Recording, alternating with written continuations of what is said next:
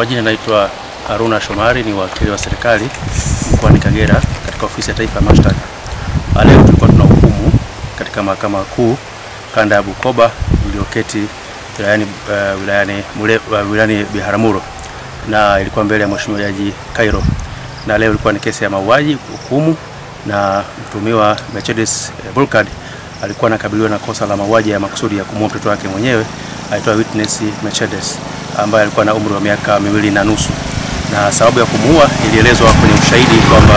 e, alidai kwamba mtoto huyo sio wa kwake, kwa maana kwamba mke wake amembambikia,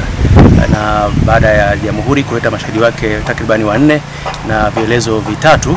na yeye kujitetea mtumiwa, hatimaye mahakama ikawa imemtia hatiani na kumpa adhabu ya kunyongwa hadi kufa. Eh, Tukio hili linaelezwa kwamba ilitokea mnamo tarehe 26 ya mwezi wa saba mwaka 2015 majira ya asubuhi katika kijiji cha Kiruma kilichoko wilaya ya Karagwe mkoani Kagera, na ilikuwa majira ya asubuhi ndipo ambapo yeye mtuhumiwa alipoamka na kumchukua mtoto yule ambaye alidai kwamba sio kwake, kwa maana amebambikiwa na, eh, na, na mke wake, na akaenda eh, porini na akamchinja, na baada ya kumchinja akawa amerudi nyumbani haraka na kujifanya kama amelala, lakini wananchi waligundua hilo jambo, na kwa kupitia upelelezi makini wa jeshi la polisi mkoani Kagera